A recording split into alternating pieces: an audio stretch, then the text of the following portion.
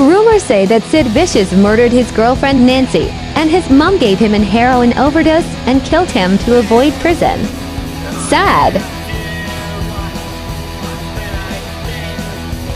She was 20 when she was murdered, and six months later Sid died too at the age of 21.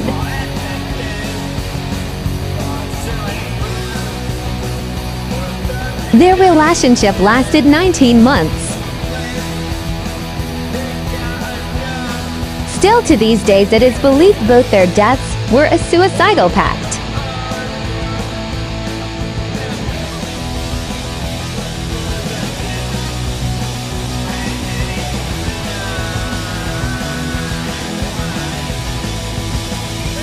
Sid Vicious died on the 2nd of February 1979 in New York.